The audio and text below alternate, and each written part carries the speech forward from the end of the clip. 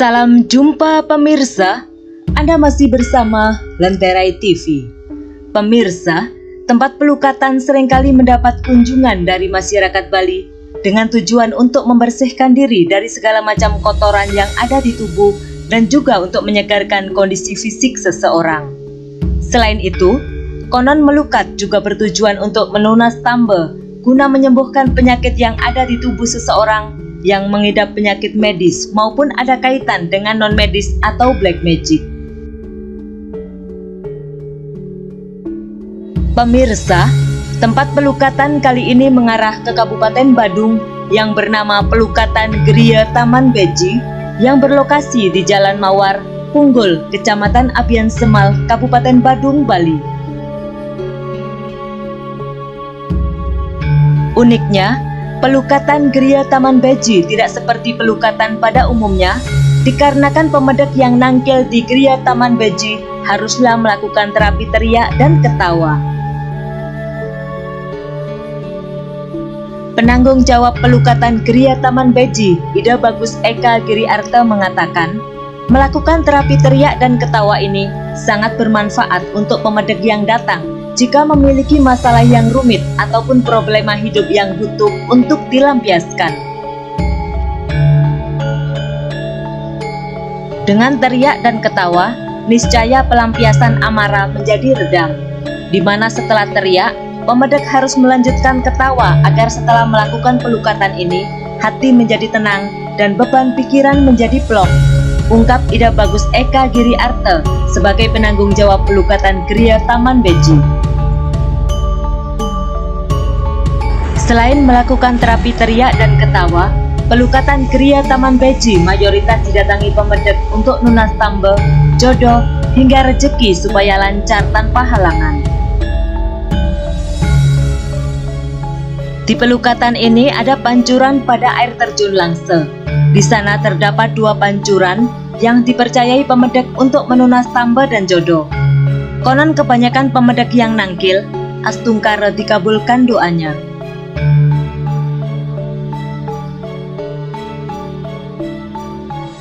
Ada juga pelingge gulatan rambut sedana. Di pelingge inilah pemedek bersembahyang guna nunas rezeki agar selalu lancar dalam keseharian. Dan Astungkara, pemedek yang nangkil doanya rata-rata terkabulkan. Kata Ida Bagus Eka Giri Arte.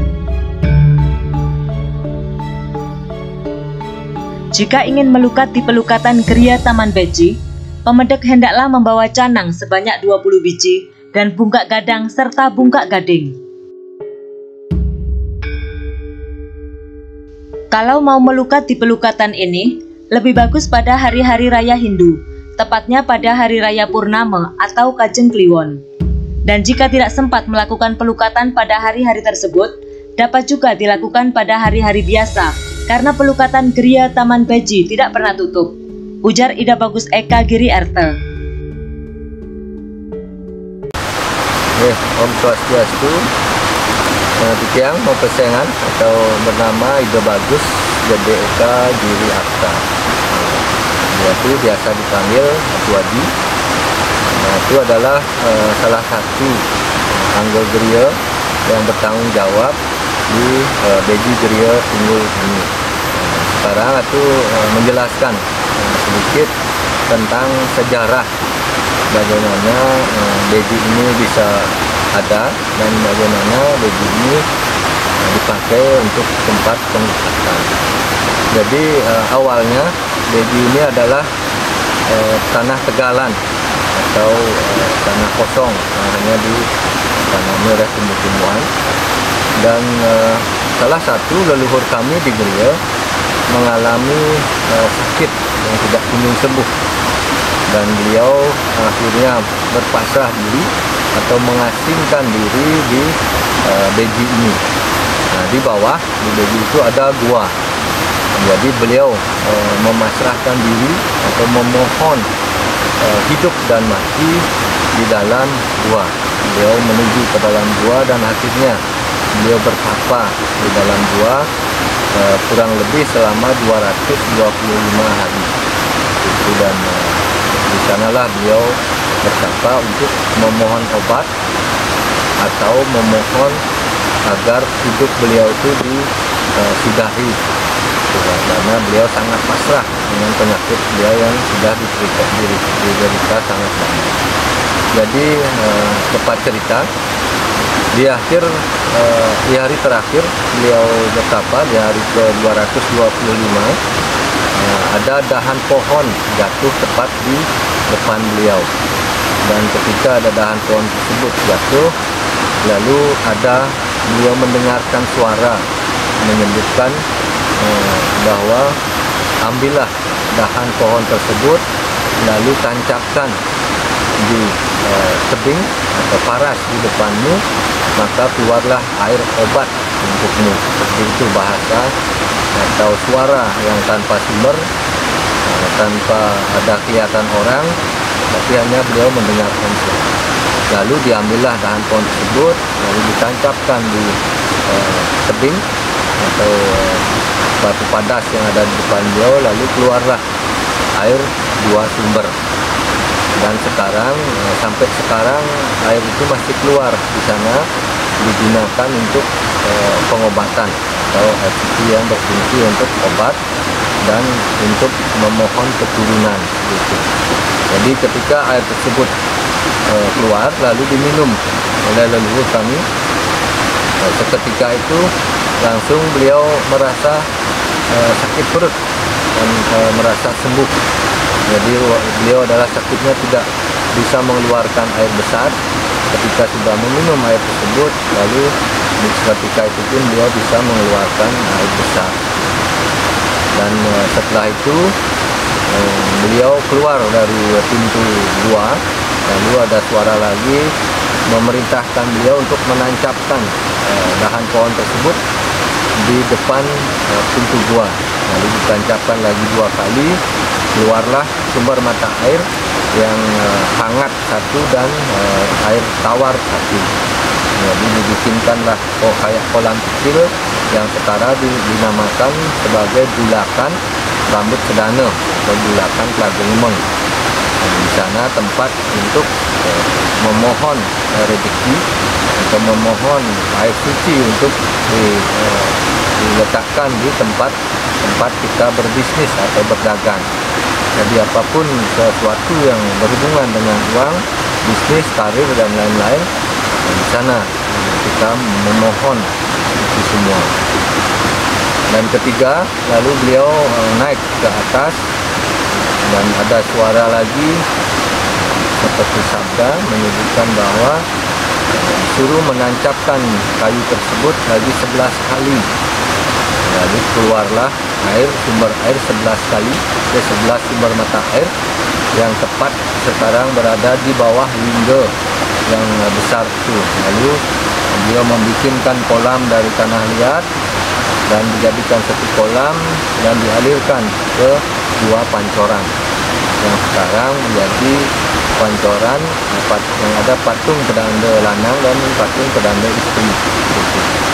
Nah, jadi seperti itu ke, semenjak itu eh, dari desa Tunggul ini eh, yang ketua-ketua eh, lelingsir lelingsir dari desa mengetahui bahwa di Beji ini ada sumber mata air yang ditemukan oleh eh, leluhur kami di Gria. Lalu desa eh, memohon ke Gria agar tempat atau beji ini digunakan bisa digunakan untuk beji oleh desa kami di sini tempat di seluruh desa ini. Dan juga di saat ada orang yang meninggal di sini memohon air sucinya untuk eh, toyo penembak dan eh, air yang untuk digunakan memandikan jenazah sebelum eh, dilakukan penguburan jadi itu sejarah singkat dari uh, Beji Dua Punggul ini. Di awalnya pertama kali pemedak yang datang ke sini uh, menyiapkan upekara uh, kejati atau canang yang lengkap dengan ada rarapan atau lepesan. Itu uh, sebagai cina uh, permisi atau memohon izin mau melakukan uh, ritual pengikatan sini jadi disiapkan dulu di atas sepekaranya berganti dan menyiapkan uh, pakaian adat Bali yang ringan. Boleh yang biasa juga boleh. Lalu sudah siap semuanya lalu kita turun ke bawah. Lalu pertama kali mesirat kita pengeruat atau pembersihan sebelum masuk ke tempat cuci. Lalu maturkan canang satu di depan pintu masuk ke area baby setelah itu barulah kita turun ke area pelinggih yang ada di Beji. Di sana menghasilkan pejati sudah ada Ratu Niang dan Ratu Haji Mangku yang akan mengaturkan pejati yang eh, pemedak yang datang. Dan pemedak masing-masing mengaturkan canang masing-masing di depan-depan patung dan pohon beringin yang sudah ada di bawah. Nah, setelah mengaturkan perkara rencana atau pejati lalu pemedak yang datang e, melakukan persembahyangan atau musbah. Jadi musbah di awal berfungsi untuk memohon izin pada beliau yang bertanah di Deji yaitu Begetari Ratu yang Sakti e, untuk kita melakukan e, ritual penglukatan. Apa pun permohonannya masing-masing sana masing-masing pemedak pasti punya e, permohonan yang e, diinginkan masing-masing. Setelah selesai sembahyang barulah proses penglukatan dimulai.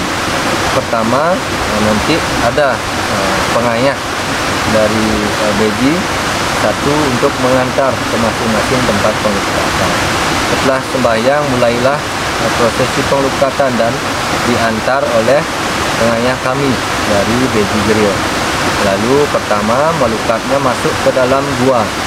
Di dalam gua atau di tempat eh, peyogan. Pemeyoganya eh, leluhur kami. Dan dimasuk ke dalam gua melewati air terjun Langse namanya. Atau air terjun yang seperti eh, korden jadi melewati itu lalu masuk ke dalam dan eh, ketemulah tempat pengukatannya jadi di dalam ada dua sumber air yang keluar langsung dari tebing atau batu padasnya itu berfungsi untuk eh, pengobatan bagi uh, masyarakat luas, masyarakat umum yang ingin melakukan atau lunas tambah obat di sana disebut dengan pengelukatan tambah sinio itu jadi tambah itu adalah obat sinio itu adalah alam kosong atau alam meja sangat juga jadi intinya di sana adalah kita memohon obat kepada alam semesta. Bagi yang uh, merasa punya, punya penyakit secara skala ataupun skala secara diketahui ataupun tidak. Dan yang bagi yang belum punya keturunan sudah menikah bisa juga memohon di sana. Dan yang terpenting juga anak-anak ABG yang belum punya jodoh atau calon suami calon istri di dalam gua ini juga tempat untuk memohon uh, pasangan hidup atau pasangan uh, suami istri agar tetap langgeng di keluarga ke depan. Itulah tempat penglukatan pertama.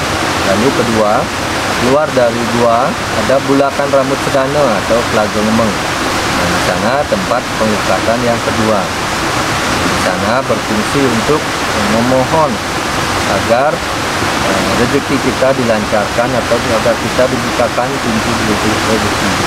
Jadi bagi yang punya dagang, punya usaha ataupun masih kuliah sekolah atau bagi yang masih meniti karir, di sanalah tempatnya memohon agar semuanya dilancarkan sesuai dengan cita-cita yang diharapkan. Jadi di sana kita berdoa kepada Ibu Betari uh, Rambut Sedana dan Betari Laksmi yang juga Ibu Betari yang Dan uh, selanjutnya proses pengelukatan yang ketiga itu di air terjun. Jadi menuju ke air terjun air terjunnya ada dua. Dan uh, air terjun pertama itu tempat untuk meluapkan emosi. Jadi di sana yang seru kita wajib untuk melakukan terapi emosi uh, di sana kita mengingat kembali hal-hal yang pernah membuat kita kecewa hal-hal yang pernah membuat kita sangat sedih atau sangat benci jadi dikumpulkan semua diingat kembali lalu diluapkan atau dikeluarkan dan atau dibuang dengan cara berteriak sekencang-kencangnya atau menangis sekencang-kencangnya. Jadi diulang-ulang tiga kali atau lebih agar energi energi negatif atau sampah-sampah yang ada di uh, pikiran kita, di hati kita agar diluapkan atau dibuang agar dihanyutkan di air terjun yang pertama. Jadi teriak-teriaklah sepuas-puasnya di sana, um, keluarkan amarahnya, keluarkan kebenciannya, dan keluarkan kesedihannya di sana agar setelah melukat hal-hal atau energi-energi negatif yang ada dalam tubuh kita sudah hilang di sana. Lalu setelah itu Waulu ke air terjun yang kedua, di sana eh, tempat membangkitkan energi positif dengan cara eh, kita tertawa bersama, tepuk tangan bersama atau bernyanyi bersama. Intinya adalah membangkitkan energi positif dengan cara berpikiran positif, diingat kembali apa yang pernah membuat kita sangat bahagia atau membuat sangat kita eh, senang. Jadi itu diingat kembali agar energi-energi positif dalam pikiran, hati dan tubuh kita bangkit lalu menyerap energi positif yang ada di alam semesta. Nah setelah dia terjun intinya air terjun pertama nah setelah dia terjun lalu ada tangga naik di tangga terakhir melukatnya turun ke kolam jadi kolam ada pancoran dua Kotoran itu keluar dari mulut bedawang ngale yang diduduki oleh patung pedanda lanang dan patung pedanda istri. Jadi di sana tempat kita memohon restu atau lunas penugrahan. Jadi apa pun tujuan masing-masing dari pemedak yang datang atau tampil, misalnya lunas tambah, lunas obat, lunas uh, keturunan, memohon jodoh ataupun memohon pasangan hidup dan memohon rezeki bisnis karir agar dilancarkan. Jadi, Eh, pancoran yang dua inilah tempat untuk memohon restu atau nugrah agar semua eh, diberikan eh, istilahnya cap pengesahan. Jadi jaga direstui. Jadi patung peranda lanang dan sini sebagai simbol bapak dan ibu kita jadi apa pun yang kita akan lakukan kita wajib memohon restu kepada kedua orang tua kita dan juga kepada leluhur kita agar semuanya berjalan dengan lancar. Nah, setelah melukat di kolam kantoran dua, lalu naik lagi ke depan kelinggih. Nah, di sana baru melukat dengan bungkak dadang. Bungkak dadang pindah ke atau namanya pengelukatan uh, Wisnu Gangga Mata. Jadi berfungsi untuk mengeluarkan toksin atau racun-racun yang ada di dalam tubuh kita dan uh, barulah uh, melikat dengan juga gading dengan penglipatan Jiwa Mahadewa Merta sebagai pengganti bulan-bulan tubuh yang sudah rusak.